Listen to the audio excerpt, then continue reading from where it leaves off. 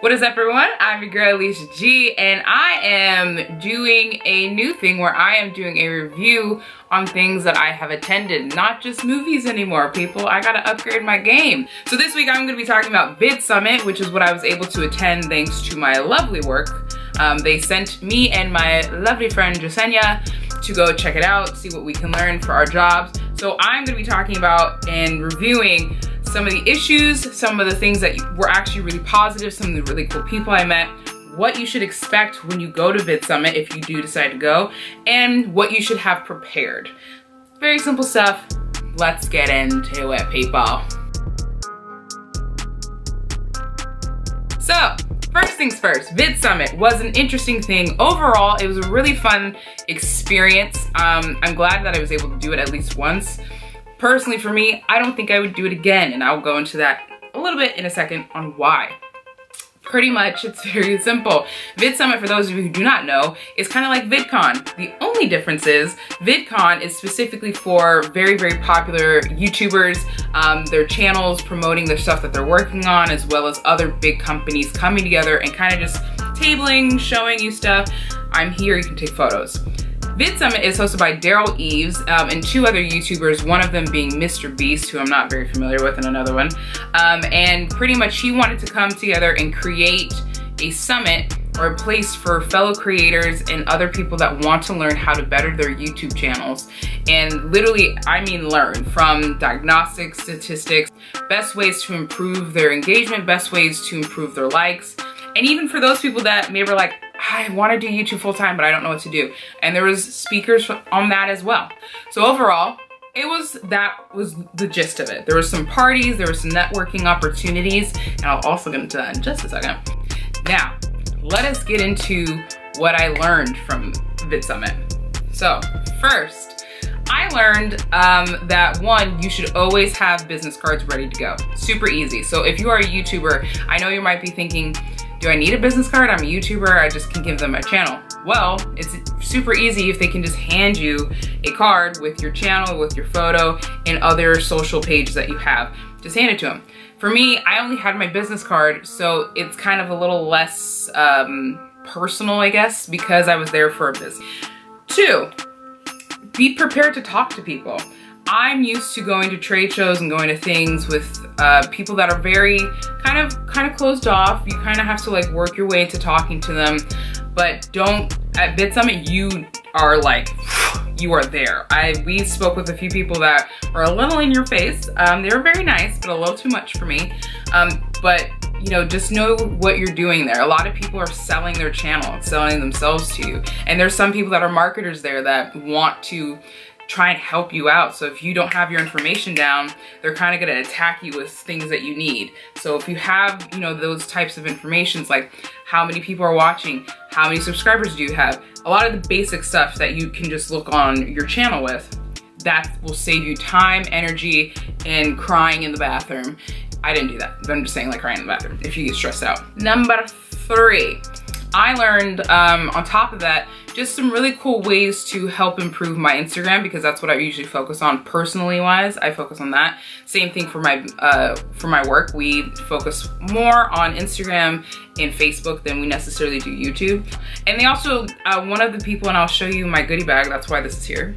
Pretty much you get to really talk to people and they really give you some decent advice. Sometimes it's personal, sometimes it's business wise, whether you're selling something on your channel, whether you're reviewing something on your channel like I'm doing right now. They're just helpful. So those were the things I learned from Vid. Now, these are the things that I had issues with on Vid. Problem number one, lack of communication. And what I mean by communication, I mean by simply having a pamphlet explaining where certain rooms are, explaining what certain things are as well. Like, so example, there was multiple sessions at multiple times. So one session I did was how to make your video sound better while there was another session going on across the way. Now the reason I'm talking about communication is because one, this hotel that we were at had horrid, horrid horrible Wi-Fi service. So most people couldn't get on the internet, couldn't check the app because VidSummit, they have an app that you can use um, to check out all the classes, to check the schedule, to check the times.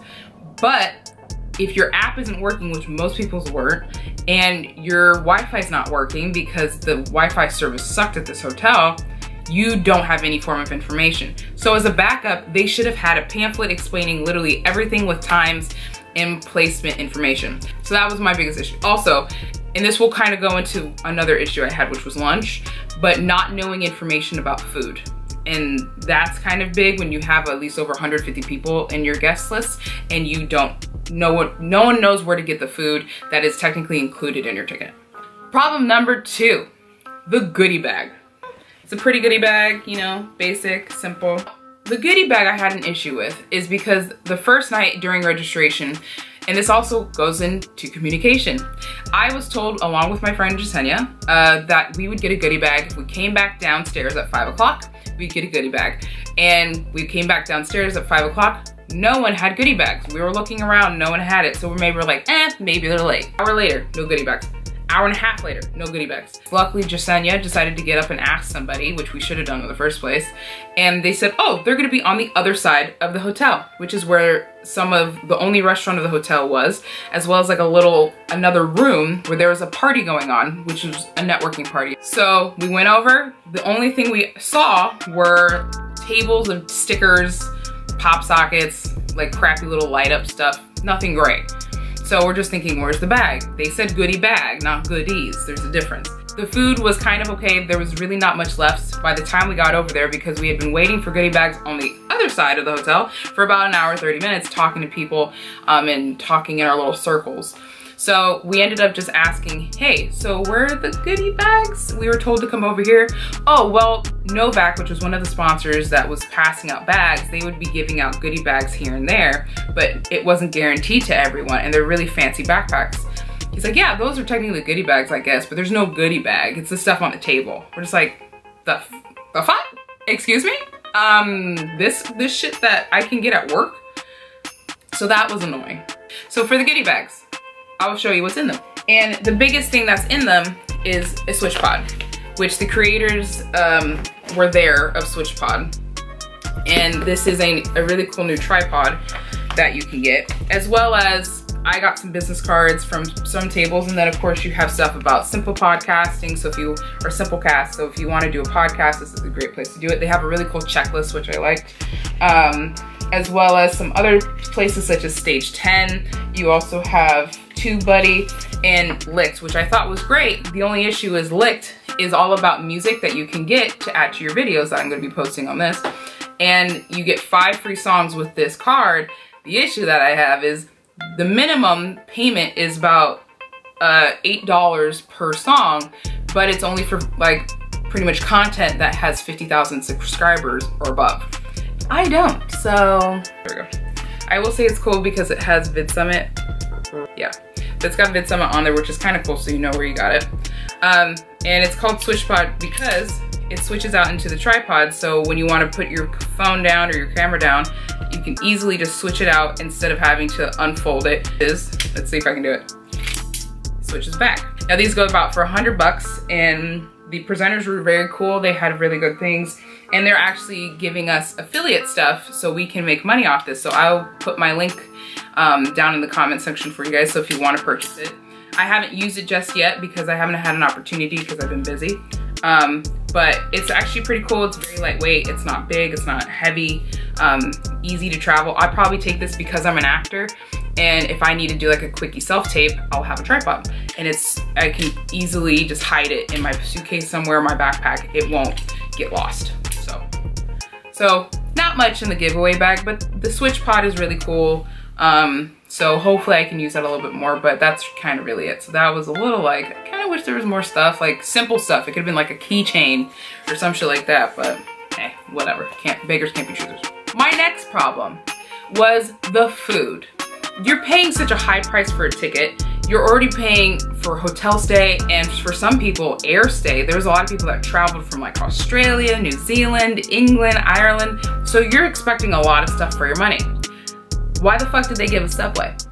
And they didn't, now, okay, I should, I should say, I don't mind the Subway. The issue I had is the simple fact that you not only had to get Subway and it was a box lunch so you couldn't purchase whatever you wanted, but you had to walk around the corner down the street to the subway, which again, was like, seriously, you couldn't have just brought the box lunch to the hotel, which I've seen multiple trade shows and events do on small budgets.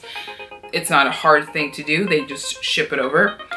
And there's issues at the subway because you had so many people that are in line for this blocking entry and exit towards a parking lot and structure for LAX because once again, we were literally smack dab right by LAX. So that was a huge problem capacity wise for the subway and people left trash everywhere. I saw boxes on just seats in the hotel because people would bring it back. So it was just an issue. There was no trash around or anything. So my biggest issue with the subway thing is you're paying a certain amount of money to get to these things and really like, and I get it, most of the, it's supposed to be for networking, this and that, but and food should be like last thing on my mind. I shouldn't give a shit about food. But one, I'm a big girl and I like to eat.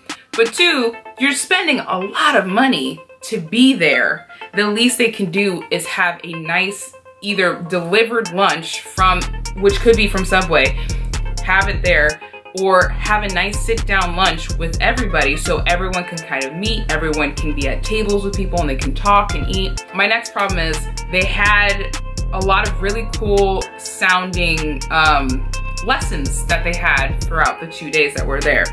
But when I got to some of them, a lot of them to me seemed very mislabeled. For example, one of them was uh, how to make your small name into a household brand. So I'm thinking it's about branding yourself, branding your channel. But when I got there, it was literally just about a guy marketing if you're physically selling an item. So for example, they were talking about deodorant, Lume for example. I'll shout them out here because I wanna use them. Lume, uh, which is for females and for men and it's for, you know, every part that stinks. So, um, but they were just showing us commercials, kind of creative parts and pretty much the gist of what I got from that whole thing was go cheap first, then go expensive. Don't go expensive first and then go cheap. And I'm just like, okay, well, out of everything I got from a lot of talks was be unique, be you, make sure you're personal, make sure you know how to strategize, have a niche. So it was just like the same thing I heard from almost seven different people. And it was just kind of annoying.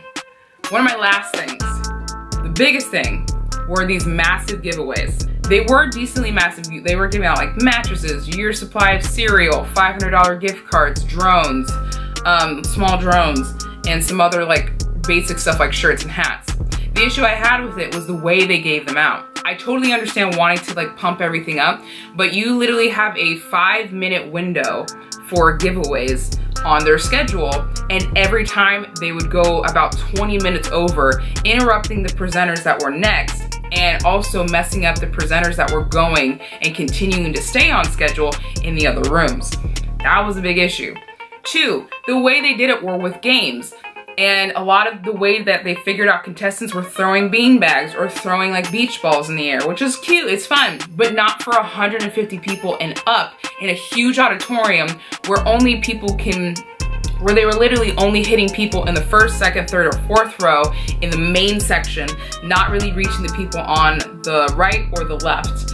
And on top of that, they weren't getting, they weren't hitting other people. I saw so many repeat people try and win certain things and I'm just like, this is not fair. I saw a child, a 10 year old that was there who won a $500 gift card for a photo thing. Not, I can't remember what it was.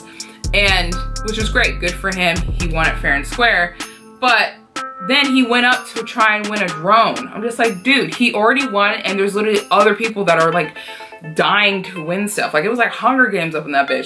One more overview before you guys are like, oh my god, this bitch is annoying. One, communication. They were really bad at it. They needed to work on it. Two, the food. If you're gonna do a big summit like that, make sure that before you pick your location, that they're gonna have good food around the area and you can let people know if you don't want the food that's there, here are some other restaurants that are around the area that are working with VidSummit for like a deal. Simple. Three, the presenters mislabeled things. It felt like a lot of the presentations were mislabeled and they did not have fun presentations that kept people intrigued. A lot of them were kind of boring and a lot of them were due to just simply the presentation itself, not the information. And last but not least, the massive giveaways need to be fixed because it's un it was unfair and they didn't, they did it way too long. The last massive giveaway of Thursday night took almost an hour because, and they still had crap to give away, but everyone started leaving because they realized they're not gonna have any chance of getting anything. So, real fast, the ways we can fix Vid Summit, the ways we can help them out if they listen to this video and they appreciate or listen to other people's reviews of it. One, I talked to someone named Robbie Christmas and I'm gonna put his stuff down below because he's got some great music, super nice, guy from Seattle. And he mentioned doing a marketing, like a power marketing part. I'm like, that's super smart. Maybe instead of doing a ton of, of sessions, have sections throughout the day for about 15 to 20 minutes where people can market and talk to fellow creators and really get involved with people. So they have to get shaken up, whether it be in the same building, same area, and they all just have to talk to each other and talk about what they want to do and see if they can work together. Two, an easy way to fix it, like I said, communication. Have a pamphlet listing out the schedule. Don't just rely on the app because one thing you can always count on, do never rely on internet or internet service because it's always spotty depending on where you are, especially for by LAX. Three, when it comes to the giveaways, it's super easy. You literally have everyone's information that is attending and you have everyone sign in. So anyone that signed in, one, can get a raffle ticket. Those could be for the big ticket items like the $500 gift cards, and mattresses, the cereal for a year. And you, and that's a way too, can be fair. You can call up the raffle ticket and you can still play the games, but you at least everyone has an opportunity to come up and play a game super simple.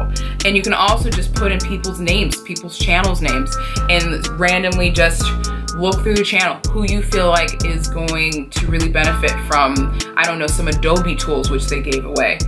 Boom, put it up there because you had people do videos for you, do that. Super, super simple stuff. And last but not least, I forgot to mention this.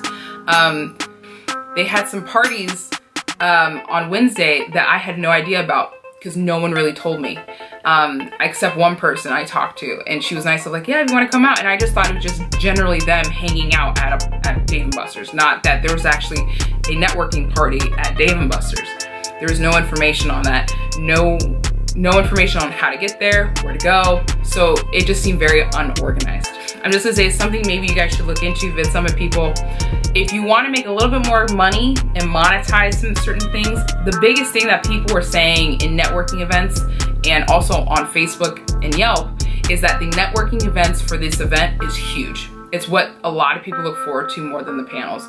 I think if you guys separated having the parties and the networking events and making them a little bit bigger and longer and sell that as a separate ticket, and you can probably make a lot more money via and cheaper ticket, way cheaper. That was my last, sorry, I thought I had, I was done, no, one more thing. Make that a cheaper ticket, like $150. They get into the event, they get into the networking event for free, and they get into the parties for free. They can mingle, they get a free drink ticket. And now if they want to do the networking event, the parties, and they want to enjoy the panels as well as the massive giveaways, then you sell the rest of it. It's just like Newport Beach Film Festival. That's how they do it. If you want to see the movie and you want to attend the party after, that's fine. It's going to be this cost. But if you just want to attend the party, it's going to be this cost. So it's not going to hurt you if you separate it. This ticket is way too expensive. I truly, truly believe that this is way too expensive for what I got this weekend. From the disorganization, the lack of internet, kind of a lot of the information being repetitive, I do not think this is worth $700, $800 like I saw on the website. Yeah, you get to meet some cool creators. Yeah, you get to talk to some people that have some high-end subscribers, but and in all reality, I don't think it's good. I think it's way too expensive. So overall, I think VidSummit is good at, VidSummit has some things they can fix. They have some things that are positive, just like anything. But my biggest thing is I believe that VidSummit is really great for people that's channels are about maybe like, I don't know, 20,000 and up subscriber wise. They can learn a little bit more to really, really increase that. And for beginner beginners that have no idea what's going on. But people in the middle or people who don't really know, don't want to really deal with YouTube, I don't think this is worth it. I know that was a long video, I apologize, but um, I hope everyone has a great week. Um, I hope you guys listen to this video, like, subscribe. Um, comment, let me know what you guys thought. If you went to Vid Summit, if you're thinking about going to Vid Summit, let me know and I will literally give you all the information, all of the cards that I have, all the just so you can see what I'm talking about. And make sure before you do anything, before you go, Google Vid Summit, really look into it, really look into the presenters. Are they gonna help you this year? Because some, I really, presenters are a big thing because they had presenters last year that I really wanted to see that weren't there this year. So just make sure you really check it out, really find this information and take your time. Once again, I'm your girl Alesha G and this was my weekly review. So I hope you have a wonderful weekend. I'll talk to y'all later. Remember, like, subscribe,